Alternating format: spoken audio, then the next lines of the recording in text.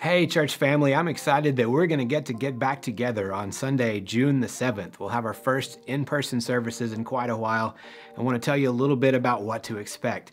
We'll have two services. At 9 a.m., we'll have a blended worship service. At 11 a.m., we will have a contemporary worship service. We've spread them out a little bit time wise so that we can have extra time to clean in between, so that we can make sure there's not too much traffic in the foyer and in the hallways. So if you are ready to get out and ready to see some folks, uh, you can come to church this Sunday, June the 7th, 9 a.m. and 11 a.m. For now, we're going to just have worship only. We won't have any groups on Sunday mornings. We won't have any children or preschool ministries or student ministries, just the worship services. And we'll figure out those other things as we can as we move along. I want to tell you about some safety measures we're taking to make sure that we are doing everything we can to keep folks healthy and safe.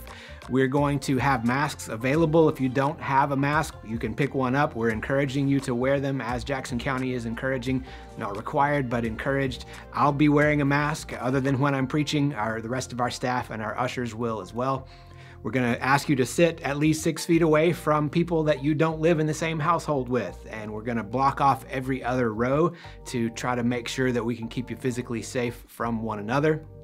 We're doing lots of extra cleaning before, between, and after our services. And one sad step we have to take, we won't be able to provide coffee or donuts. Uh, if you want to bring some with you, that would be great.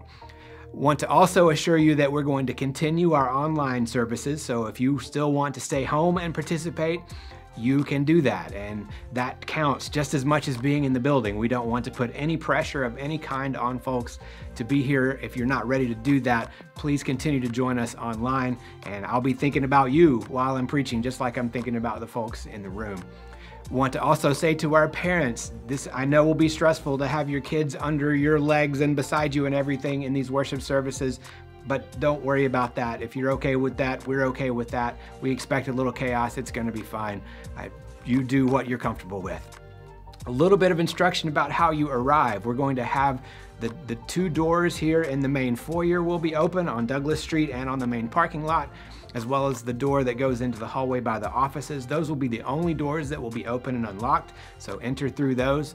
And I wanna give you a heads up, there'll be a little chaos getting into the parking lot because of some construction going on around us right now.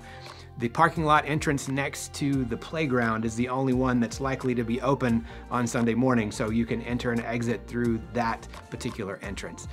I hope to get to see some of you in the flesh on Sunday, and I look forward to seeing the rest of you online this Sunday. Know that your pastor's praying for you, and God bless you.